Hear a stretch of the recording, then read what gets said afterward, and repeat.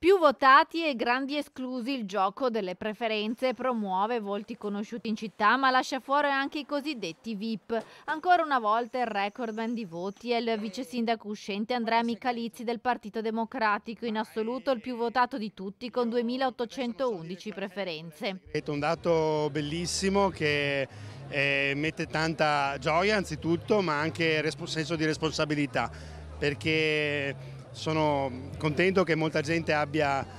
dire, sostenuto il mio progetto con Sergio Giordani e quindi insomma, questo eh, ci impone di tornare dalla campagna elettorale dove è stata davvero un'esperienza straordinaria fatta di incontri di tante persone che ci hanno raccontato tante cose, dai problemi ad ispirazioni di questa città, è stato davvero un grande carburante per ripartire per i prossimi cinque anni.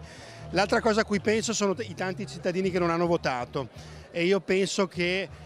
la città è anche la loro e questa amministrazione ha il compito di riconnettersi sempre di più con eh, il tessuto, dobbiamo parlare anche alle loro, loro idee, i loro problemi e riuscire a dare risposte anche a chi non si è sentito, eh, che sono tanti, eh, di, di, di, andare, di andare a votare. Dopo Michalizzi la più votata è stata la collega di partito Margherita Colonnello con 1274 preferenze, poi l'ex assessore alla cultura Andrea Colasio con 1072 preferenze, quasi 1000 preferenze per l'ex assessore al sociale Marta Nalin con coalizione civica, oltre 800 preferenze per gli ex assessori Antonio Bressa e Cristina Piva del PD e Chiara Gallani di coalizione civica. Per l'opposizione la più votata è stata Eleonora Mosco in quota Lega con 671 preferenze.